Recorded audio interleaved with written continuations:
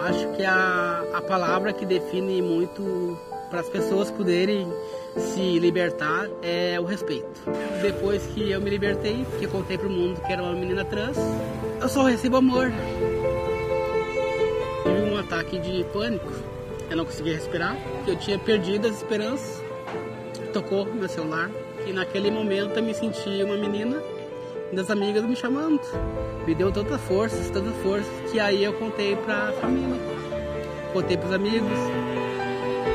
Isso que eu sempre falo, que uma ligação, um abraço, cara, um abraço assim, ó, muda totalmente uma pessoa.